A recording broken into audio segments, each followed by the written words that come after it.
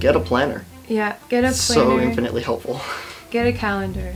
Because Yes. I've noticed a lot of freshmen, they miss like specific dates and things um, for things they're supposed to be at, especially with me being like in cross country and track a little bit when I started here. I noticed that like practice always changed times. So like I would forget that sometimes and making a study plan, I guess, that would work. Yeah. Yes. Uh, yeah, having it written down is is very helpful to remembering. And then like your your phone comes with timers. Yeah, Just that too. First flight. Yeah, first flight week is big. It's uh, it's our new student orientation week. Um, everything is bird themed around here because our mascot's the cardinal. um, uh, during during first flight week, you do a bunch of different activities um, with your hall, and then you'll There's a meet. competition. Yes, uh, you'll meet people with your FYS class, which is your first year seminar. It's basically a intro to college class essentially. Mm-hmm. um, and they'll do you'll do stuff with that class uh, a couple times a semester. Um, and then we have a lot of student organizations. Yeah. Those are Groups, Mhm. programs, events. There's a lot. yeah. Go to the events your RAs put on. yeah, that too. You'll meet new people.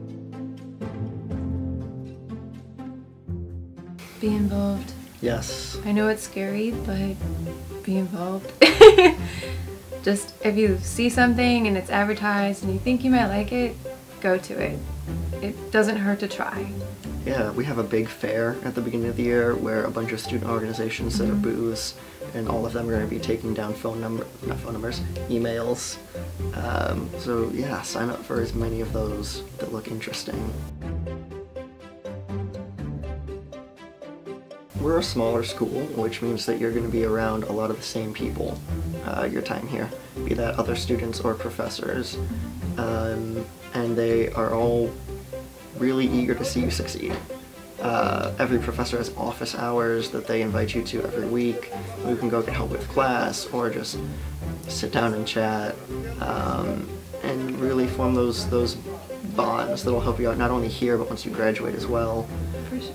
hmm um, yeah, everybody, nobody here wants you to fail.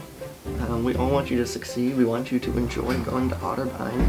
So we're gonna do what we can to make that happen. Everyone cares so much just to like s- make sure your day is okay. So that's why I like Otterbein.